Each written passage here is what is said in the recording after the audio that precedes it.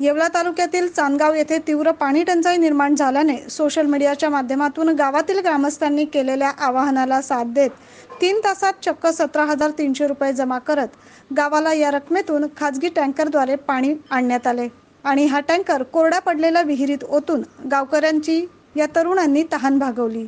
तीव्र पाणी टंचाईमुळे ग्रामस्थांना पाण्यासाठी दोन ते तीन किलोमीटर रानमळ्यात डोक्यावर हांडे घेऊन भटकंती करावी लागत होती. येवला पंचायत समितीकडे टँकर सुरू करण्यासाठी पंधरा दिवसा अगोदर प्रस्ताव देऊन देखील दखल न घेतल्याने गावातील तरुण मंडळींनी हा पुढाकार घेऊन रक्कम जमा केली आणि या रकमेतून पाणी मागवून चांदगावची तहान भागवली. मात्र लवकरात लवकर टँकर सुरू करण्याची मागणी ग्रामस्थांनी येवला पंचायत समिती व जिल्हा प्रशासनाकडे केली आहे नाईन प्रतिनिधी प्रशांत कोळस येवला.